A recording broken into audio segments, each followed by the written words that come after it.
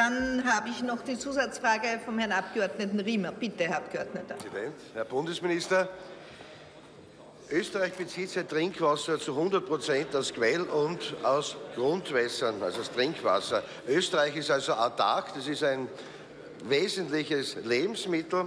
5500 Wasserversorger garantieren das auch. Das Landwirtschaftsministerium, zu aller, muss ich sagen, ist ja positiv, wendet auch jährlich 300 bis 370 Millionen Euro dafür auf. Das ist ja was Positives. Ein Problemkreis ist A, Thema Konsument, Thema Bauer, Kleinbauern, die wir haben, das ist ja bedauerlich. Was machen wir?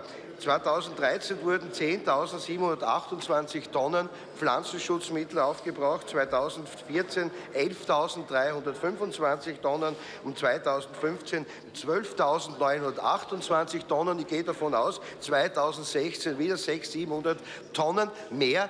Eine Frage, sehen Sie da eine realistische Chance oder wie kann man das reduzieren, dieses, die Anzahl von Pflanzenschutzmitteln auf Österreichs Böden? Herr Bundesminister. Also ich habe schon in meiner äh, vorherigen Beantwortung eine detaillierte Übersicht über den Einsatz von Pestiziden äh, in der österreichischen Landwirtschaft dargelegt, einen deutlichen Rückgang, auf den ich hier verweisen konnte, äh, der, der zeigt, dass unsere Maßnahmen der, der flächendeckenden Ökologisierung der österreichischen Landwirtschaft, insbesondere mit dem Agrarumweltprogramm, tatsächlich Wirkung zeigt und es einen deutlichen Rückgang auch vor allem durch den integrierten Pflanzenschutz gibt, äh, weil einfach äh, die, die Produkte auch äh, treffsicherer sind und daher auch nicht mehr in der Menge eingesetzt werden, sondern dort, wo es erforderlich ist, um die Pflanzen entsprechend vor Schädlingen beispielsweise zu schützen.